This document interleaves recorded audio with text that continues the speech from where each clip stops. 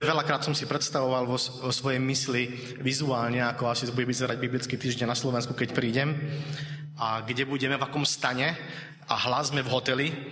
Takže moje predstavy boli úplne milné. Um, ja som odišiel zo Slovenska v roku 2002 a pracoval som dovtedy ako kazateľ na Slovensku asi 3,5 roka. A ako som povedal, Košice, Košice 1, Košice 2 poproč.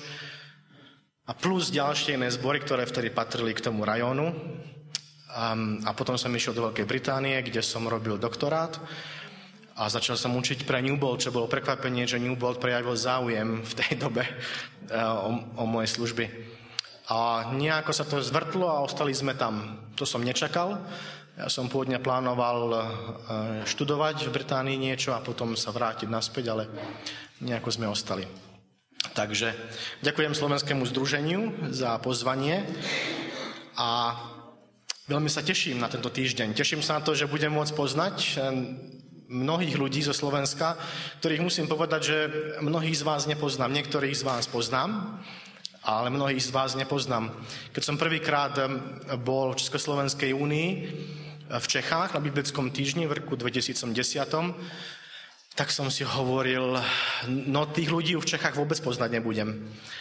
Ale, ale človek pozná tých ľudí behom týždňa. Keď som tam bol minulý rok, tak už som poznal veľa ľudí a bolo to veľmi príjemné. A niektorí z tých ľudí prišli aj, aj, aj sem tento rok, čo je veľmi milé.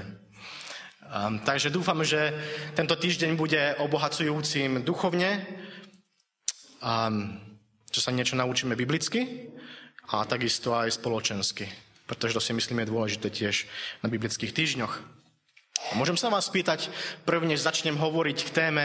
Um, názov témy je taký, ako vidíte na plátne, Dobrá správa o Božom súde.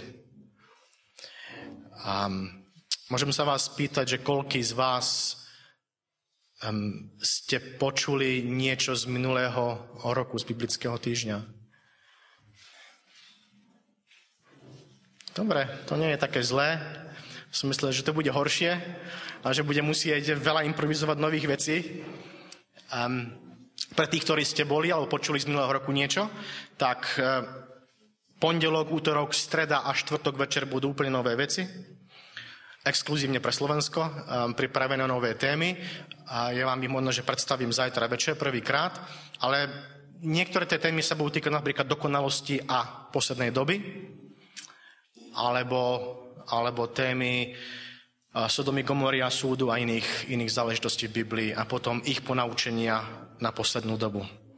Takže dúfam, že to bude zaujímavé aj večer. Dnes si spravíme iba úvod do témy. Ja viem, že ste cestovali, ako aj my. Je pol osmej večer, ja vás nechcem zaťažovať. Každopádne úvod je dôležitý. Ja chcem vás navnadiť na zajtrajší deň, aby, aby ste prišli, aby ste vedeli, čo vás čaká aby ste mali určitú mentálnu predstavu. Eh, brat Kern predstavil, to je ďalšia návnada um, tohto týždňa. Um, ja som poslal manuskript eh, mojich prednášok a mojej knihy Českému adventu Orion, pretože oni prejavili to záujem ešte v roku 2013. Ja som to poslal minulý rok, ale ako si Český advent to nestihol urobiť, kvôli rôznym veciam. A keď som potom kontaktoval Slovenské združenia, povedal som, mali by ste záujem, ak by som knihu, pretože manuskript bol urobený. Ak by som knihu vydal cez um, New Bold Academic Press, tak um, Danko Marfoldy povedal, že áno, a ja som si myslel, že ako účastníci budete radi, keď budete mať materiály v rukách a mám ich v aute, nie sú tu, takže vám ich dáme zajtra, alebo predáme, pretože to niečo stálo. Um, tá kniha je prepisom prednášok, nie sú tam večerné témy, ale je tu prepis všetkých prednášok vrátane dnešného večera a každého do obedia. Um, tie knihy budete mať a budete si môcť tam robiť poznámky, ak budete chcieť. Um, mnoho stran obsahuje farebné ilustrácie, ktoré budete vidieť. To znamená, ak budete mať niektoré otázky a nebudete niečo dobre vidieť, sú tu v knihe vo farbe. Takže, takže by ste mali mať takúto pomôcku. Dúfam, že sa aspoň troška tešíte. Dobre. Prejdeme k téme. Dobrá správa o Božom súde. Um, Ja som pôvodne tú tému e, nazval a ja budem hovoriť viac biblickým jazykom ako Boží súd. Súd, samozrejme, to slovo súd je, v Biblii sa nachádza aj Boží súd, ale um, môžeme tú tému zhrnúť pod, um, pod umbrelu, pod dážnik uh, Deň pánov. Pretože Deň pánov zahrňa niektoré udalosti, ktoré si chceme vyzdvihnúť a zahrňa aj súd. Um, žijeme rozhodne dnes v dobe, ako bolo spomenuté, ktorá je predkaná rôznymi očakávaniami toho, čo priniesie budúcnosť. Od Hollywoodu, cez YouTube, internet, populárne knihy, dokonca seriózne denníky, dokonca vedeckú literatúru, je nám pripomínané, že život, ako ho poznáme dnes, môže jedného dňa skončiť. A moderný človek je možno dokonca až fascinovaný do istej miery tou myšlienkou, že to, ako sme žili, to, čo dnes máme, sa môže zrazu skončiť a niečo, niečo nové prísť. To je zaujímavé, že ľudia sú až fascinovaní. Uvediem vám určitú štatistiku. Hollywood pravidelne produkuje množstvo materiálu s tematikou konca súdu alebo záveru dejín apokalyptiky. A e, fakt, že Hollywood produkuje v posledných desaťročiach množstvo materiálu, ukazuje na to, že existuje veľký apetít spoločnosti pre túto tému. A je zaujímavé, že my adventisti, máme to aj v mene adventisti, že sa pozeráme do budúcnosti, ako si sme to nezachytili, tú tendenciu ešte celkom. Podľa anglickej Wikipédie ktorá mimochodom ten článok je veľmi dobre um, zodkazovaný. Pred rokom 1950, tu máte tabulku na to, boli v obehu iba 4 filmy. Medzi rokmi 50-59 Hollywood vyprodukoval 11 filmov na tematiku konca. V ďalšej dekáde 20 filmov. Potom to bolo 33 filmov medzi rokmi 70 až 79. Medzi rokmi 80 až 89 znova 33 filmov. Medzi rokmi 90 až 99 34. A v novom miléniu máme 58 filmov v prvom 10 ročný a v tomto 10 ročí zatiaľ okolo 40. A ak tento trend bude pokračovať, tak na konci roku 2019 by to mohlo byť číslo 80. Ak si urobíte matematicky, um, ako sa to povie, ak si urobíte matematicky, nie priemer, ale nárast percentuálny, tak zistíte, že ten skok zo štyroch filmov na zhruba tých 80 tejto dekáde za posledných zhruba 60 rokov, to je jedna generácia, je 6000 percent. 6, nepomýlil som sa ani o jednu nulu, fakt. 6 tisíc percentuálny nárast záujmu alebo produkcie Hollywoodu, populárnych um, médií. A to niečo ukazuje, že? Ukazuje to, na to, že zrejme ten apetít je vlastne veľký v tej spoločnosti. A dokopy, myslím, že mám tu niekde napísané, dokopy filmové štúdia vyprodukovali zhruba 233 filmov. To sú zhruba 4 filmy na jeden rok, zhruba jeden film na každý 4 rok. To máte ako sobotnú školu na každý 4 rok. Tak máte apokalyptický film. Z najnovšie produkcie sú v obehu Prepáčte, ešte pôjdem naspäť. V obehu tieto seriály alebo filmy. Tam máte tie názvy a môžete si k ním niečo pozrieť, o čom vlastne sú. Samozrejme, predstavujú rôzne vízie budúcnosti, až nezmyselné z kresťanského pohľadu, ale to je vedľajšie. Okrem Hollywoodu populárne knihy rôzneho rázu, vedeckého, sociálneho, ekonomického alebo aj novely sa téme radi venujú. Z náboženských kníh dve získali vysokú popularitu, hlavne v Spojených štátoch. Prvá sa volá Four Blood Moons, štyri um, e, krvavé mesiace a um, od kazateľa Johna Hagiho v roku 2013 on napísal niekoľko kníh na, na tému konca mimochodom. A ďalšia kniha, ktorá sa nazýva Blood Moons, táto, to znamená krvavé mesiace, čo vlastne znamenajú tieto nebeské znamenia, ktorá vyšla v roku 2014 od židovského učenca, židovského teológa.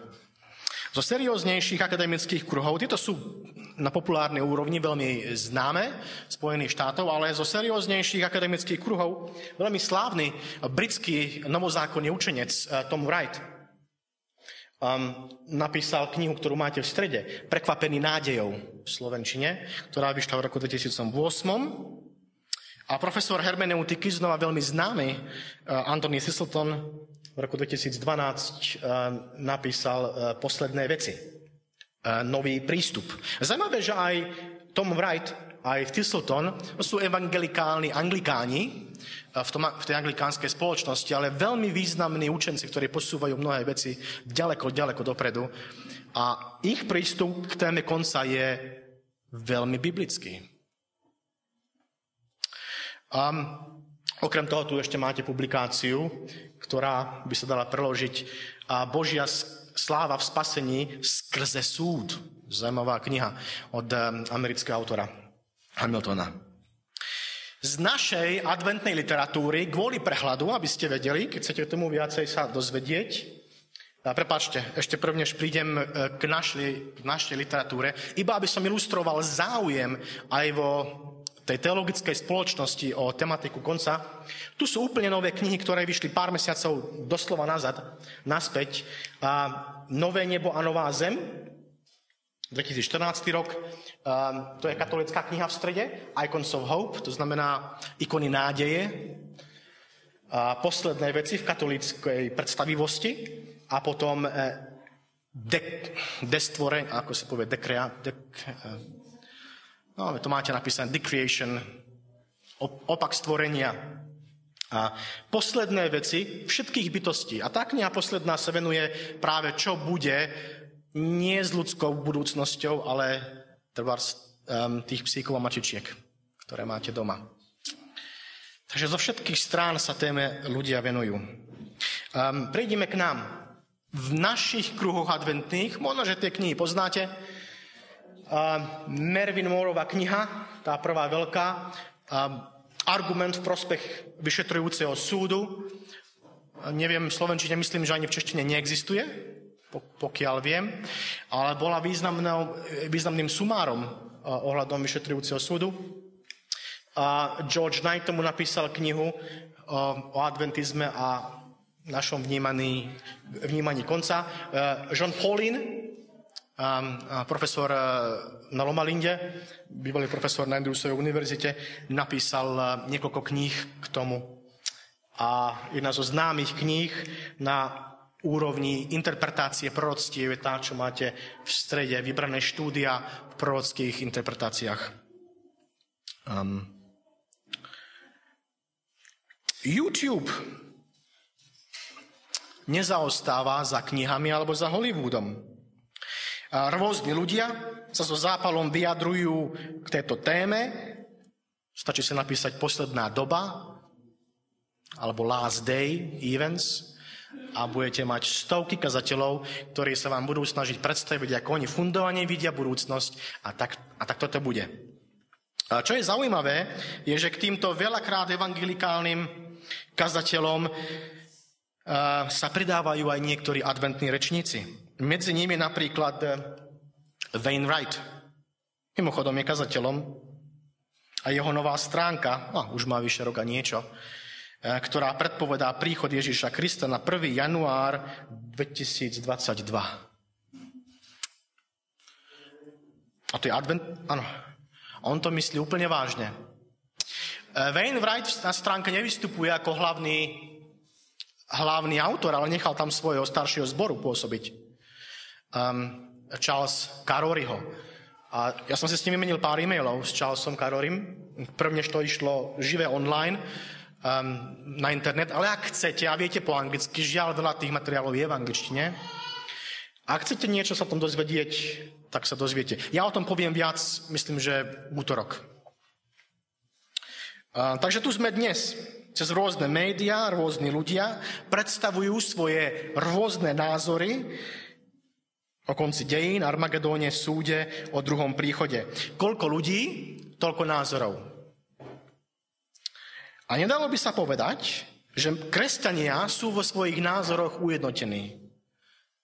A nedalo by sa povedať, že adventisti sú nutne vo svojej predstave alebo svojich názoroch takisto ujednotení. Možno troška viacej ako všeobecné kresťanstvo. Ale ako príklad Vejna Wrighta ukazuje napríklad, aj v tomto máme značné rozdiely, ako vnímame koniec. Um, realita je taká, že posledný súd, alebo deň pánov, pretože tak je v starom zákone aj v novom zákone nazývaný, deň pánov od prvých kresťanských storočí bol hlboko nepochopenou témou. Ak sa pozrieme bližšie na kresťanské predstavy o téme a necháme Hollywood Hollywoodom, obraz, ktorý církev namalovala ľuďom, vyzeral asi takto – Vyobrazoval veľkolepú scénu, v ktorej ľudia stoja pred Božím trónom a sú súdení. Tu máte Krista a, a tu je aniel, ktorý drží, ktorý súdi, ktorý má váhy vo svojich rukách a súdi. Ukazuje, že Boh bude e, spravodlivý. Niektorí skončia s pozitívnym rozsudkom, um, buď v, e, v nebi, alebo skončia s negatívnym rozsudkom v očistci, alebo v mukách pekla. Podľa stredovekej církvy ľudia zažijú svoj súdny deň priamo v hodine svojej smrti, ale církev tiež učila v stredoveku, že na konci sa uskutoční aj všeobecný veľký súd. Zhruba vízia asi ako táto. Čo je veľmi zaujímavé, je, že reformácia tento stredoveký obraz, ktorý tu máte, vôbec nezmenila. Kalvínska ho prijala v nezmenenej podobe, luteránska učenie odsunula na úplne vedľajšiu kolaj, luteranizmus povýšil ospravedlnenie zviery na kľúčovú tému a odrezal ho kompletne od súdy, ktorý tak stratil opodstatnenie Božom diele vykúpenia a spasenia. A ja si myslím, že v mnohom ako protestantizmus, ako protestanti, trpíme týmto dôrazom na ospravedlnenie, ktoré je tu a teraz, takže prečo nejaký budúci súd v budúcnosti? Naša otázka biblického týždňa ale nebude prejsť si, čo ve, ktoré cirkvy a ktorí ľudia verili o súde v minulosti, ale skôr, čo o téme hovorí Biblia. Našim cieľom bude odpovedať na otázku, čo o tomto súde hovorí Biblia. Objaviť a pochopiť celistvý biblický pohľad na málo pochopenú tému. A chcem dať dôraz na slovo celistvý. Pretože v mnohom minulosti vyberáme si to, čo sa nám páči. Buď druhý príchod, buď prenasledovanie, buď znamenia druhého príchodu, alebo ja neviem, novú zem aspekty si vieme vybrať a myslím, že aj im rozumieme.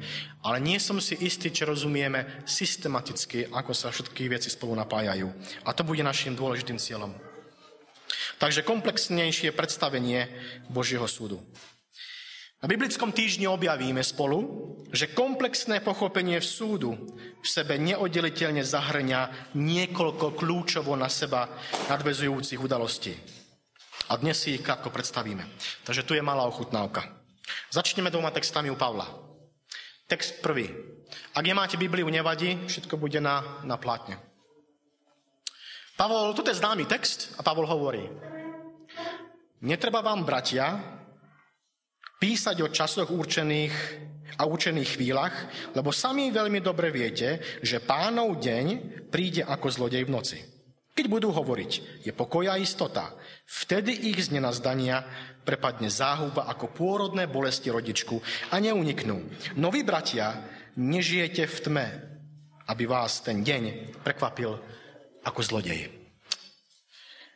Um, je to známy text, ale čo má Pavol na mysli, keď povie pánov deň? Mimochodom, uh, toto, toto je ekumenický preklad a budem používať celý týždeň ekumenický preklad iba pre vysvetlenie. Čo to znamená pánov deň alebo deň pánov? Ten deň. Čo má Pavol na mysli, keď hovorí, netreba vám písať o časoch, účených chvíľach, lebo sami dobre viete, že pánov deň príde ako zlodej v noci. To znamená, tí prví kresťania mali nejaké poňatie o dni pánovom. Príchod Ježiša. No, to je dobrá otázka. Čo je deň pánov?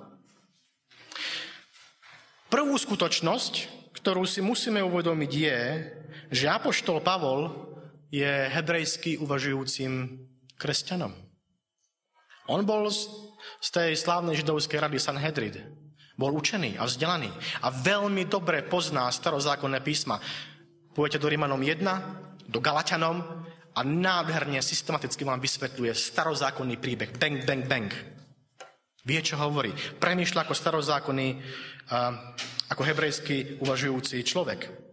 Hlavný spis, ktorý v prvom rade informoval jeho uvažovanie o Mesiášovi a jeho diele, teda bol text starého zákona. A teraz sa vás pýtam znova tú istú otázku. Ten, tento text Pavol posiela prvým kresťanom, ktorí sú konverti zo židovstva. Pavol nerobí misiu medzi Grékmi. V drvivej väčšine Pavol robí misiu medzi Židmi v synagógach. On nechodí medzi Grékov. Náhoda je, že ide do Aten. Ale to je výnimka. Máte v 13. kapitole výnimku, v 17. kapitole skutkov, ale väčšinou nerobí misiu medzi Grékmi. On ide k tým, ktorých pozná. A ktorí poznajú Boží príbeh mimochodom v starom zákone. Takže keď on posiela list Tesaloničanom, a mimochodom, novozákonní učenci tvrdia, že Tesalonickým sú jedni z prvých novozákonných spisov, čo si myslíte ľudia vnímali? Čo im zazvonilo v ušiach, keď počuli pánov deň.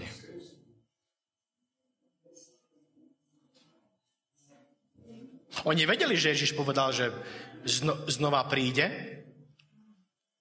ale v starom zákone, keď sa povedal deň pánov, čo to znamenalo? Už ste niekedy o tom premýšľali? v mojej knihe nájdete troška, myslím, že viac k tomu, ako ja tu hovorím, lebo som nedávno bol nútený to objasniť. Um, pre jeden článok, ktorý som písal inde. Um, keď sa v starom zákone povedal Deň pánov, čo to znamenalo? To je dobrá otázka. Nás, kresťanov, keď počujeme o Dni pánovom, bez dlhšieho uvažovania takmer automaticky napadne druhý príchod. Teba napadne súd? Sobota. Alebo sobota, dobre. Áno, aj, aj to. Aj keď tu hovorí o časoch, o učených chvíľach, deň pánov. Deň pánov v starom zákone zahrňal, áno, aj príchod zaslúbeného kráľa Mesiáša z Dávidovej línie, ale oveľa viac. A to je tá podstatná myšlienka.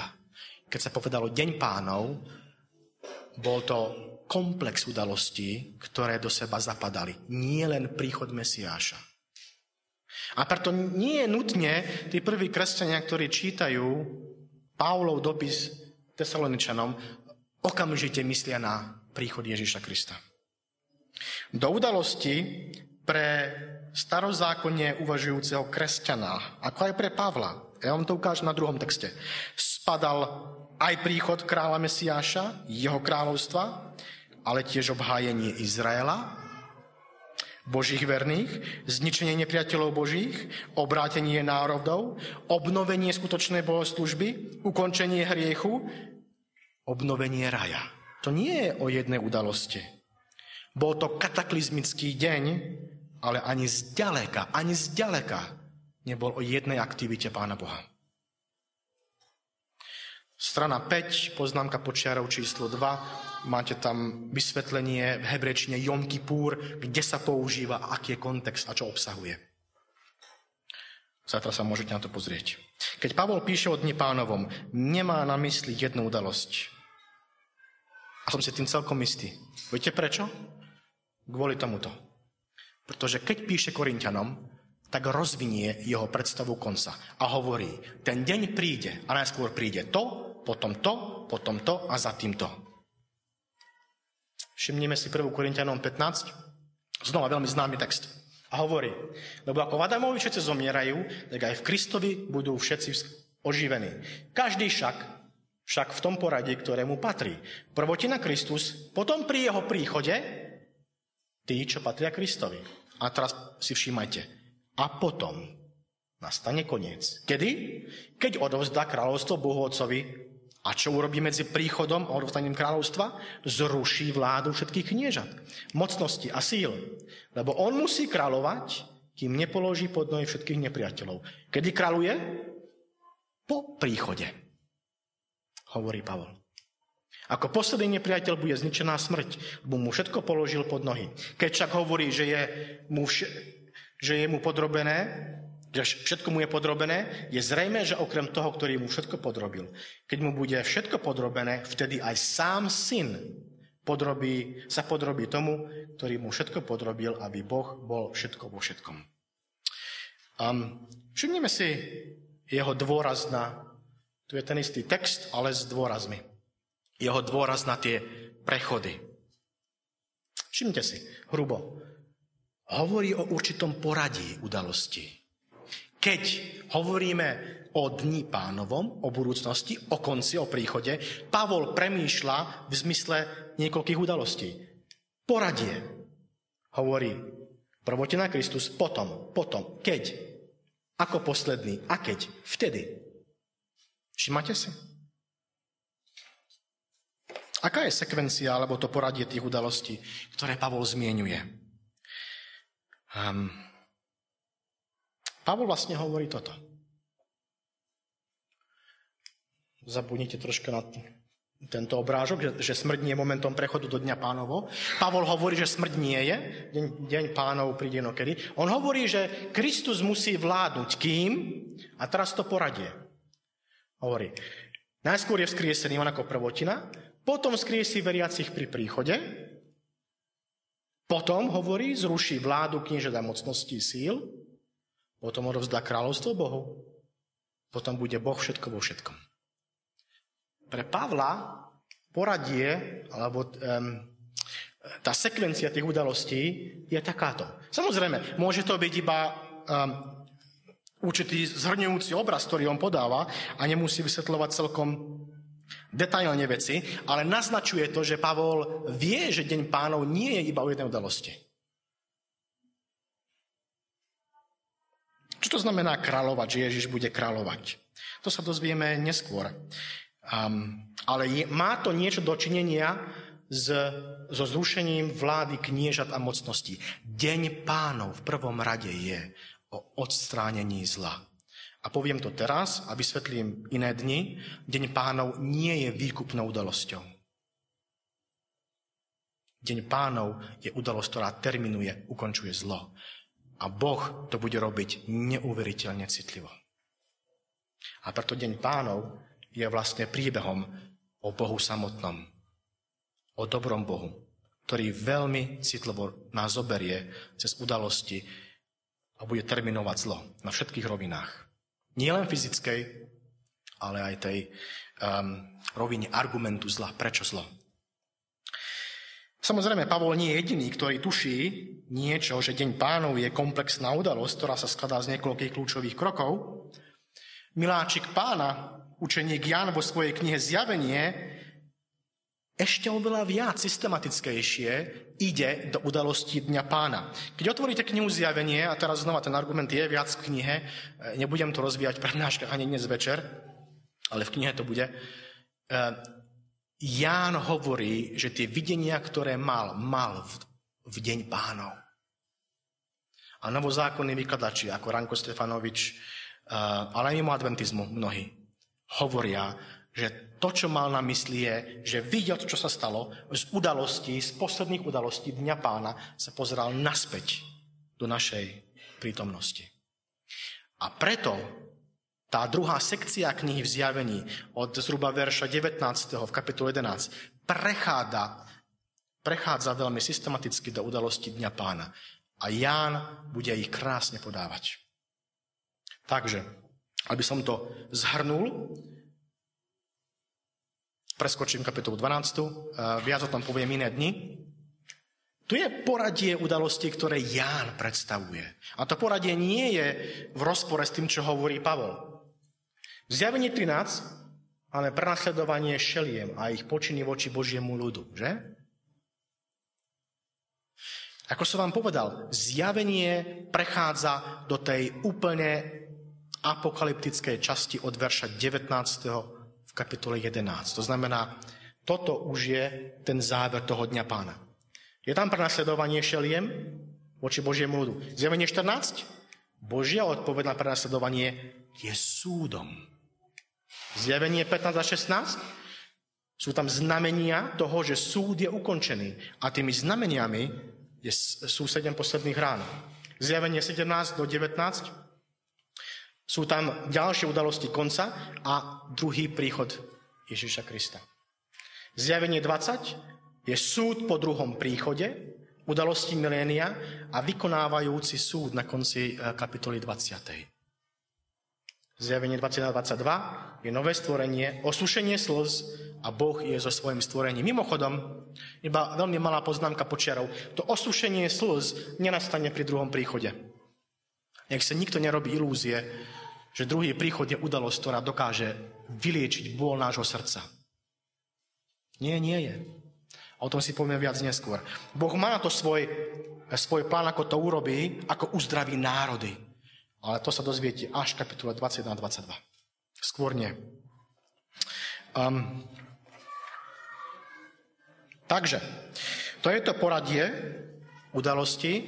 Ak chcete, tak tu je e, v inom prevedení Deň pánov a deň súdu. Zo zjavenia nám vyplýva, že ten deň pánov nenastáva druhým príchodom, ale dokonca, že ten druhý príchod je až tu dole. Ale máte tu udalosti, ktoré k tomu vedú. Dokonca nastáva pred príchodom určitým Božím súdom, Božou reakciou na prenasledovanie Božieho ľudu. Je tam fáza predadventná, fáza adventná, keď sa niečo mení, a fáza poadventná toho súdu a potom nové stvorenie 21-22. To je ten systematický obraz, ktorý máme v zjavení Jána. Um, myslím, že tu mám ešte ilustráciu tých textov, aby ste to lepšie mali tam. Tam sú tie fázy popísané lepšie. Um, žiaľ, bolo to príchodom učenia o nesmrteľnej duši, keď sa celý koniec biblického príbehu, teda tento koniec, ktorý predstavuje zjavenie, alebo apoštol Pavol, drasticky zmenil. Pretože ako náhle uvediete nesmrteľnú dušu do vášho biblického uvažovania, potom, keď zomriete, v tom momente máte súd a nejaké fázy, ktoré prídu na konci dejín, vás absolútne nezaujímajú, pretože buď skončíte v pekle, v očistci, alebo v raji neba, v blaženosti neba. Že? A to je celý problém kresťanstva. Že ako náhle kresťanstvo uviedlo koncept nesmrteľnej duši, celý tento koniec sa stratil z obzoru kresťanského. Od okamihu smrti ľudia zažijú blaženosť raja, prekliatie pekla a stredoveká církev súd vyobrazovala buď ako individuálnu udalosť, keď človek jednotlivý stojí pred súdom a je súdený na základe nejakých kníh a jeho činov, alebo církev povedala, raz na konci bude súd, ale to sa im úplne strácalo. A ten posledný súd mimochodom bol na to, že vám dal naspäť fyzické telá. Možno poznáte ten príbeh e, Kalvína, keď sa raz Kalvína pýtali, aký má význam teda skriesenie, keď obdrží človek v momente smrti buď blaženosť alebo prekliatie pekla. A Kalvín o tom premýšľal a povedal, no to je tak, že v momente, keď Boh bude súdiť a dá nám to skriesenie, ten posledný súd, tak to je preto, aby duše zažili blaženosť raja ešte viac a tí ľudia, ktorí sú v pekle, keď dostanú svoje tela, prekliatie ešte viac. To bola jeho odpoveď. Komplexný biblický pohľad Dňa pána, na ktorý začal poukazovať práve Adventizmus od 19. storočia V istom zmysle celkový evangelikalizmus na to kladie dôraz. Ale adventizmus rozvinul ten koncept do určitých detailov, ktoré predtým neexistovali. A ten komplexný biblický pohľad, na ktorý začal poukazovať práve adventizmus od 19. storočia, obsahuje sedem hlavných udalostí. Nie je zďaleka ani o jednej udalosti, alebo dvoch, alebo o tajnom a nepochopiteľnom diele Boha. Adventizmus objavil Biblii niečo, na čo stredoveké kresťanstvo, vrátanie tradičného protestantizmu úplne pozabudli. Adventizmus, dovolím si tvrdiť, objavil evanielium o súde a o konci. Biblický kresťan vie, že je to komplexná udalosť. Nie je zďaleka o jednej udalosti, napríklad o druhom príchode. Druhý príchod nie je udalosť, ktorá šmahom vyrieši zlo. A pri druhom príchode sa domov nejde. Celý týždeň na GK sme počúvali, ako pri druhom príchode všetci ideme domov. Pri druhom príchode z týchto komplexných udalostí ideme a prepáčte, ideme do ďalšej práce a sme zapojení, Boží vykúpený ľud je zapojený do odstraňovania zla. To je zaujímavé. A ideme do neba. Ale nebo nikdy nie je našim domovom. To je nová zem, nové stvorenie. Je našim domovom. Samozrejme, viac k tomu povieme tento týždeň. Ja si dovolím povedať, že nie vždy sa aj nám, adventistom, toto evanielium podarilo vhodne formulovať a predstaviť. Dokonca aj našim vlastným členom. Niekedy sme zvolili nešikovný jazyk, inokedy sme nepochopili, o čom to evanielium celkom je, alebo má byť, alebo aký teologický či praktický význam náš dôraz na deň pánov má. Samozrejme, niekedy sme jednoducho v dobrej viere možno predsa len sploštili náš dôraz do dôrazu o druhom príchode, ako o jedinej blahoslavenej nádeji, ktorá vyrieši hriech a zlo na zemi a vráti svetu blaženosť. Druhý príchod je blahoslavenou nádejou církvy, absolútne. Ale ani nie je zďaleka tou jedinou a už vôbec neudalosťou, ktorá vyrieši hriech, alebo zlo, alebo ktorá vám dokáže utriť slzy. Deň pánov obsahuje sedem hlavných udalostí. A každá z nich postupne, chronologicky, logicky na seba nadvezuje a posúva Boží plán vykúpenia krok dopredu. K odstráneniu hriechu, zla a smrti, k plnej obhajobe Božích verných, Božej vlády vo vesmíre a to sa nestane skôr, než sa ukončí siedma udalosť. Takže prehľad dnešného večera zakončíme tým veľkým prehľadom. A to je vlastne náš obsah, ktorý nás čaká od zajtra. A to prvou udalosťou vo Veľkom dni pána je predadventný ospravedlňujúci súd. Tento súd obhajuje Božích verných, Boha, jeho pravdu, je odpovedou na prenasledovanie šeliem ktoré tvrdia niečo o Bohu, ktoré tvrdia niečo o Pánu Bohu. Boh v predadventnom súde ospravedlňuje svoj ľud. Je to skvelá správa. Absolútne skvelá správa. A my sedíme na dynamite, ani o tom nevieme, ako kresťania. Za druhé, Veľký deň pánov obsahuje ukončenie súdy, udalosť ukončenia súdu a doby milosti. Zjavenie 15 a 16 a vy viete, čo tam je sedem posledných rán. Ten jazyk v kapitole 15 hovorí, súdy boli ukončené. Aké súdy? Tento. Ale nie ešte všetky. Tretou udalosťou, tú, na ktorú my sa hlavne upíname v našom uvažovaní, kázaní a čítaní Biblie, je druhý príchod Ježíša Krista. Ale ten nastane, vidíte, ako tretia udalosť. Ten prinesie vzkriesenie verných, a spútanie diabla. Poadventný objasňujúci súd je štvrtou udalosťou Veľkého dňa pánov. Z príchodu Ježiša Krista sa nejde na párty, ako to hovorím, ale ide sa do práce. Ide sa na poadventný objasňujúci súd a tu sa rieši kľúčová otázka. Prečo Boh jednal ako jednal otázka Božej spravodlivosti? Je to kľúčová otázka. Pretože mnohí, ktorí sú vzkriesení pri druhom príchode Ježiša, zistia, že ten alebo tá tu nie je. A prečo? To znamená, poadventný objasňujúci súd rieši otázku Božej spravodlivosti. A je to dôležitý krok pre vyliečenie bôlov našich srdc.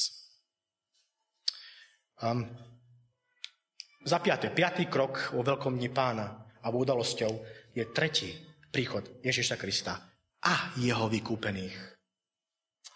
A pritom nastáva druhé vzkriesenie. Vždy vzkriesenie reaguje na ukončenie určitej fázy súdu. Tak ako prvé vzkriesenie reaguje na preadventný prvý súd, tak druhé vzkriesenie reaguje na poadventný objasňujúci súd. Všimnite si. A povieme si texty k tretiemu príchodu, vlastne čo znamenajú a ich teologický význam. A šiestou udalosťou v Veľkom dni pána je vykonanie súdu samotného exekutívny súd, to môžeme nazvať. A je tu opísaný posledný boj a druhá smrť. Zjavenie 22. časť eh, kapitoly 20. A poslednou siedmou udalosťou Veľkého dňa pána je nové stvorenie. Je to nová zem, ktorá, ktorá je našim skutočným domovom. Tu dochádza k usúšeniu slz, k uzdraveniu národov. Tu je koniec prekliatia a Boh je znova všetko vo všetkom. A Ježiš sa vzdáva kráľovstva. Takisto. Pretože kráľovstvo už nie je potrebné. Boh je vo všetkom, ako hovorí Pavol. Um, dovolím si tento týždeň vám povedať, že biblické učenie o súde je v skutku časovou bombou Evanielia. Pretože táto téma je plná prekvapenia, pozbudenia pre každého, kto ju započuje vo svojej plnosti. A to, čo je dôležité, to, čo budeme robiť tento týždeň, je nie len hovoriť o určitých technických udalostiach konca, ale sa budeme snažiť napojiť tento veľký deň pána na udalosť kríža, vykúpenia Ježiša, spasenia z viery a Božieho diela. To je kľúčové. Pretože ako adventisti nikoho nepresvedčíme, ak budeme hovoriť len o týchto udalostiach a, a nevieme evanílium vyložiť, ako sa toto týka kríža Ježiša a jeho spasenie vo viere. To je dôležité. Takže, pre všetkých, ktorí máte otázky ohľadom zla, to sme asi všetci, toto je dobrá správa. Pretože tu Boh predstavuje, ako On bude riešiť zlo, ktoré máme v našich srdciach, um, ktoré, alebo to postihnutie tým zla v našich srdciach a ako odstrániť zlo kompletne. A dovolím si povedať, že je to udalosť, na ktorú celé generácie čakali od doby pádu človeka do zla a hriechu. A hľa je tu adventizmus, ktorý niečo pochopil od dôležitosti tohto evanielia od dní pánovom. A ja si dovolím povedať, že to je prítomná pravda. Našou prítomnou pravdou nie je nutne kázanie o druhom príchode, ale o dni pánovom. Dúfam, že pri štúdiu tejto témy prvom rade získame novú víziu Boha, o to mi pôjde tento týždeň, toho, ktorý vždy všetko robí pre väčšie dobro svojho stvorenia. O tom nepochybujte. A urobí to takisto aj najcitlivejšie, najspravodlivejšie, ako len on vie aj v týchto záverečných udalostiach. My ako ľudia by sme zlo takto nikdy neriešili. A preto táto správa o Božom súde je správa o dobrom Bohu v prvom rade. A to si musíme vyzdvihnúť tento týždeň. Takže ja sa teším, že zažijeme duchovne aj spoločensky obohacujúci týždeň. Ďakujem vám za pozornosť a dúfam, že som vás veľmi neunavil.